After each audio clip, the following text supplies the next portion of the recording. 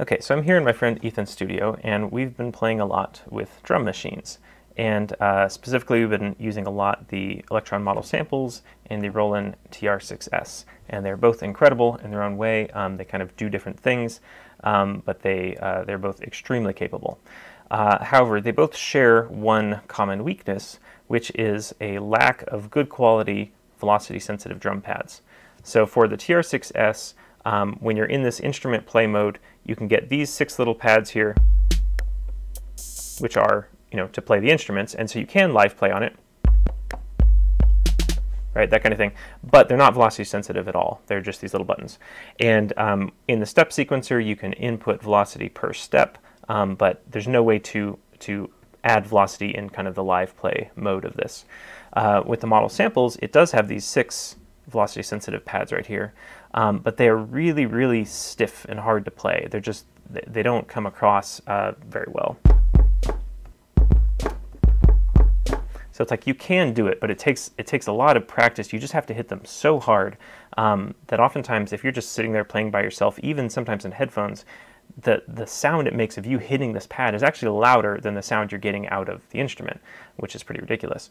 So it's um, so while they are here, and I'm glad that they're here, they're just not very good quality if you want to do more of a finger drumming style thing. Um, now, also likewise with the step sequencer, you can input velocity per step, uh, so both of them do that just fine. Um, but again, for the live play finger drumming style thing, uh, it, it, just doesn't really work very well. So um, I've been thinking about, okay, what is a kind of an external velocity sensitive drum pad kit that I could um, use to control these types of instruments? And the one I'm actually looking at uh, is the Akai MPX8. Uh, it's this little guy um, that does both USB and uh, MIDI over TRS, which is like the five pin DIN style of MIDI over TRS ports. So uh, what's important about that is that you do not need a USB host involved. You can go from that device directly to either of these, anything that inputs MIDI, um, the five pin MIDI style, without a computer involved at all, which is great. Uh, so I'm considering one of those. I don't have one at the moment. What I do have is my friend's um, Akai MPK Mini. This is the Mark II version of this.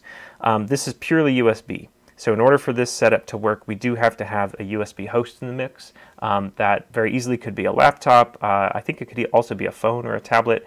What we're using here at the moment is the Akai Force, uh, which is kind of a little bit off screen here to the side, which can act as a USB host. Um, using it because it's here, uh, but it's total overkill for this. You could get by with something much, much simpler.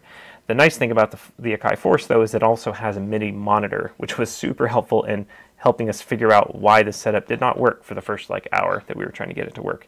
And um, basically, the key is you have to go into the software for whatever kind of drum pad thing you're using here to set it so that these pads are outputting the lowest possible uh, MIDI notes on a piano keyboard, right? So like if you looked at, you know, note C, uh, C sharp, D, D sharp, etc., counting up from the lowest possible notes on an 88 key keyboard, that's what you want these to output. And most drum machines, both of these included, if you set them to the auto channel, the MIDI auto channel, it will automatically map those note values to your tracks.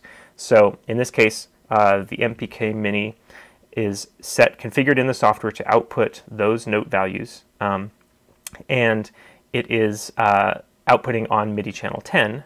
And then both of these drum machines are listening or inputting on also MIDI channel 10. And that is set to the auto channel, meaning that it, uh, it automatically maps those notes to whatever, whatever tracks you have. Um, with the TR6S, we also had to turn on the MIDI Omni mode. Um, I don't really understand why. It should be able to listen just on MIDI channel 10, but for some reason it didn't work. As soon as you turned on Omni mode, it all worked. So with that one particular, you also have to do this Omni mode. So definitely it's a bit finagly to get this to work, especially getting it to work over USB, because again, you have to have a USB host in the mix. Um, without a USB host, um, this wouldn't work at all. And if, uh, unless you get something like the MPX8 that again has native MIDI outputs. Other options in this space would be like a Launchpad Pro, which also has native MIDI outputs, but it's uh, a lot more expensive. So, so anyway, um, the main thing I want to look at here is like, how does it make these instruments better, or does it matter at all to have these kind of these better quality velocity sensitive drum pads? And so at the moment, I've got each of these pads controlling um, the tracks in here. Uh, so we've kind of got parity in that the TR6S has six different tracks and the um, or six different instruments, um, and the model samples has six different tracks. Now the TR6S is uh, is playing its own kind of internal analog circuit uh, behavior, uh, so it's its own kind of internal instruments. It is acting as a synth here. It can also play samples. It can also play FM, uh, and that's, that's kind of outside the scope of this video. For the moment here, what I'm using is just kind of a default 808 kit on this. On the model samples, I loaded up samples from an, from an 808. So I'm trying to get roughly similar sounds between the two, even though they're approaching it from a different kind of perspective here. So, oh, you just went to sleep on me. There we go. Okay, so um, let's start with just this bass drum sound. So for the moment, we'll just start with the TR6S. I'm going to crank the volume on this all the way down, so it's not doing anything. Uh, right, so that's that's this bass drum sound, 808. And um, with this little button, fixed velocity. I'm getting the same velocity every single time. Now with this pad,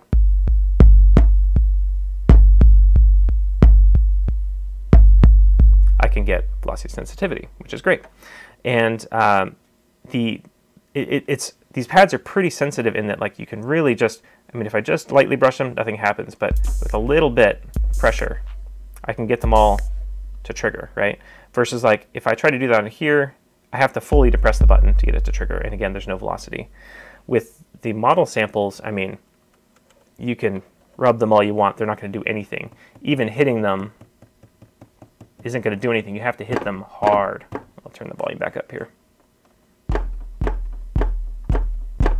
I mean, you see how much it's like shaking this table here, right? So if I hit this with the same velocity as this, I might get a note that's very quiet, very low velocity, but it's um, it just doesn't work as well.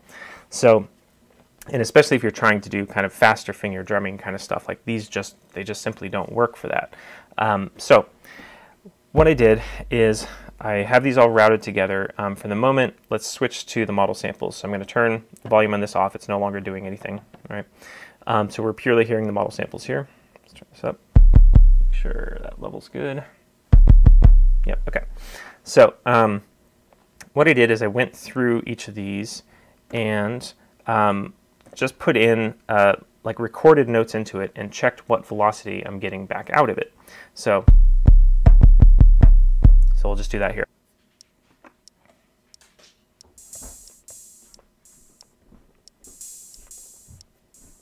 Okay. So let's look at that one. So as I input those, uh, velocity 100, 100, 100. Oh, no, I'm looking at the wrong track. Oh my goodness. There we go.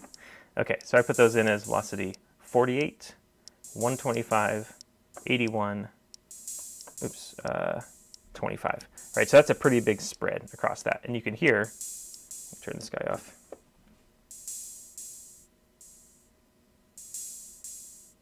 Right, there's a lot of variability in the uh, in the volume there because of the different velocities. So that's what you want. That's the whole point of velocity sensitive pads is to be able to live play that kind of variability.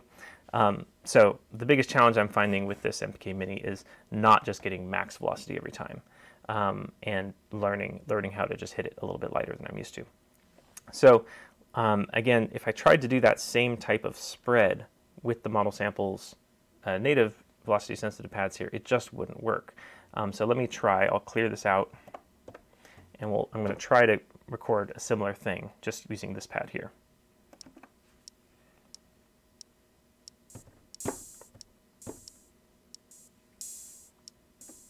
Okay. So that one was velocity 18, 1, 80, and 28. And so that's also a pretty big spread, but it is most of those are way too low. Like a velocity of 1 is basically inaudible. You can't hear that. Um, and that was me, you know, hitting this pretty lightly, but still much harder than I would have to hit this to get the same thing. So it's like with practice, you can get used to either one, but I will say, just after trying to play on this for a while, like your fingers just kind of get tired because you're slamming it so hard.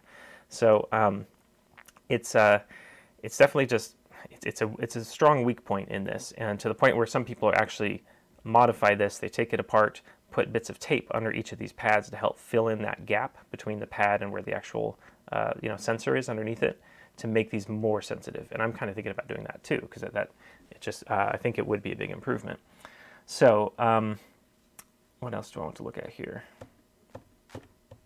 Oh yes, so with the newest firmware on this, they did do something that kind of helps address this, which is if you do function uh, pad config menu, well, first off, you can you can set each of these to be a fixed velocity. So you just throw away uh, velocity sensitivity and just have it always trigger the same, which frankly for some things might be better, right? But if you do still want some velocity sensitivity, you can go to this VDEP uh, or velocity depth menu, the second one down.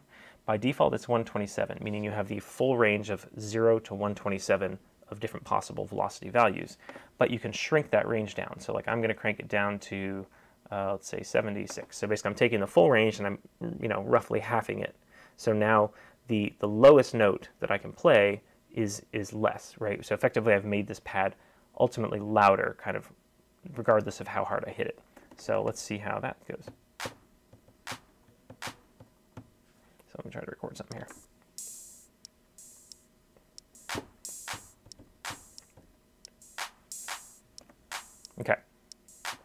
So that was velocity 34, 14, and 11. And now those again are all very low numbers. And something that I don't fully understand here is that those should be kind of quieter, um, just based on the pure velocity value there. So maybe this pad config, the velocity depth thing, is actually shifting the whole scale. Um, I, I, don't fully understand uh, how that works in terms of the numbers they display, but just listening to it, I can tell that, I mean, it's, it's just better.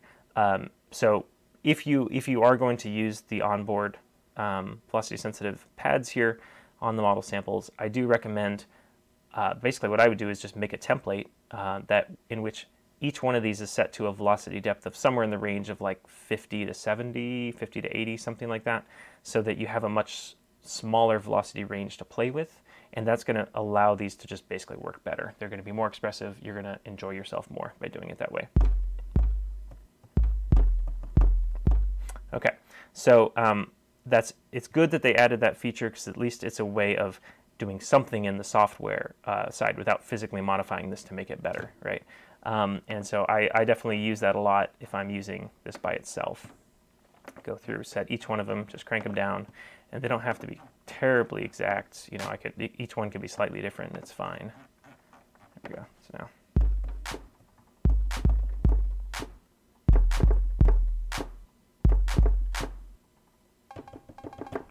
So it's better. It's definitely better, but it still just requires a fair amount of force. I will also say just the physical size of these is pretty small to where like it's kind of hard to use two fingers on them, whereas these pads are huge. Right, you can do a lot of kind of fast two finger stuff on a single pad with that, which is, I think, definitely beneficial. Um, so let's switch back to the TR6S here. Crank this one down, crank this one up. Okay. It's not too loud. There we go. So, same kind of deal here, right? Um, where built into the machine you have no velocity sensitive pads whatsoever. Uh, your only option is to enter velocity in the step sequencer. If you just use these, you're always getting a, a, a fixed velocity. And I will also say, like, it's fine for kind of sketching in a little. It's, it's not terrible, um, but they're so close together, and I just don't particularly like the way they feel. I don't really like the response of them. So um, it's something that I, you know, I would use if that's all I had, but it's uh, definitely, I think, an improvement to add legit uh, drum pads to this. So um, let's go through here and do something. So I will do the same kind of thing. I will add, let's make sure I clear whatever sequence I had in there before. Oh, here, I could just do this. Clear, clear, clear, clear, clear, clear. There we go. Okay. So let's add, again, my, let's add this closed hi-hat as my metronome.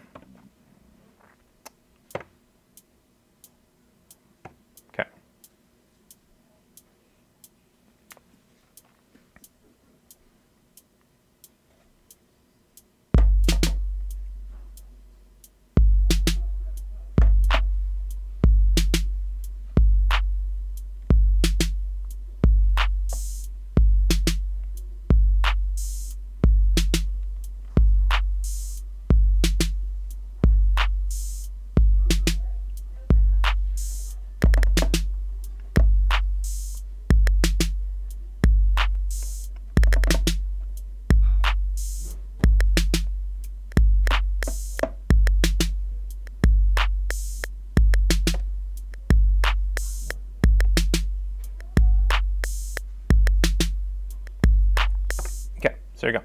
So um, yeah, I, I just find it a lot more fun, a lot more interesting to do it this way. Now I'm going to have the same problem where probably a lot of those that I just tapped in were at full 127 velocity, and that's just me not being used to the sensitivity of this. Um, and I don't remember offhand how to view the sensitivity or the velocity of each step. I think there's probably a way in here somewhere. There it is, velocity. Okay. So yeah, so now I can view that one. So 127, 124, 127, 127, 65, 127.